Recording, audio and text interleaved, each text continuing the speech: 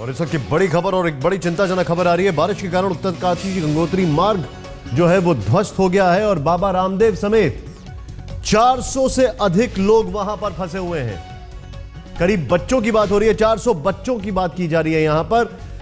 बारिश के कारण उत्तरकाशी और गंगोत्री मार्ग जो है वो ध्वस्त हो गया है और बाबा रामदेव और उनके साथ तकरीबन 400 बच्चे वहाँ पर फंसे हुए हैं। रास्ता बंद होने के कारण योग गुरु बाबा रामदेव और उनके साथ गए करीब 400 लोग समेत सैकड़ों बच्चे रास्ते में फंस गए हैं। तेज बारिश जारी है, ऐसे में प्रशासन को काफ़ी परेशानी हो रही है। जानकारी के मुताबिक बारिश के कारण कई जगहों से सड़क के हिस्से गायब हो गए हैं।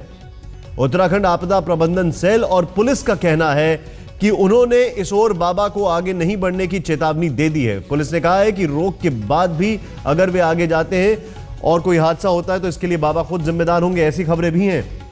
दूसरी ओर जोशीमठ समेत चमोली में भी मंगलवार रात से लगातार बारिश जारी है। बारिश के कारण अलकनंदा में उफान आ गया है। लाम बगड़ और टंगड़ी के में मलबा सड़क पर आ जाने से रास्ता बंद हो गया। है रुद्रप्रयाग, केदारनाथ मार्ग पर रुद्रप्रयाग से सोन प्रयाग तक भारी बारिश के कारण 10 जगहों पर मार्ग क्षतिग्रस्त होने की खबर है। इस वक्त की बड़ी खबर अपने दर्शकों को दे दे। ये बड़ी खबर निश्चित तौर से चिंता करने वाली है। भारी बारिश के कारण उत्तराखंड का उत्तरकाशी गंगोत्री मार्ग कई जगह ध्वस्त हो गया है। रास्ता बंद होने के कारण योग गुरु बाबा रामदेव और उनके साथ तकरीबन 400 बच्चे 400 लोगों की बात हो रही है, जिसमें बच्चे भी मौजूद हैं। वो रास्ते में ही फंस गए हैं। तेज बारिश जारी है। प्रशासन को काफ़ी परेशानी हो रही है। बाबा रामदेव को यह चेता दिया गया है कि अब आप आगे ना बढ़े। कई जगह से सड़क के हिस्से गायब हो गए हैं। उत्तराखंड आपदा प्रबंधन सेल और पुलिस का कहना है कि उन्होंने इस और बाबा को आगे नहीं बढ़ने की चेतावनी दी है।